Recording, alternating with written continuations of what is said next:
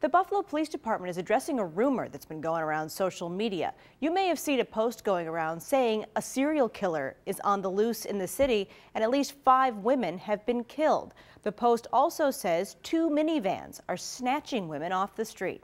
The department says these rumors are absolutely false. And additionally, if you see a post like this, don't share it because it's not true. But if you do see something suspicious, police say to call 911 immediately to report it.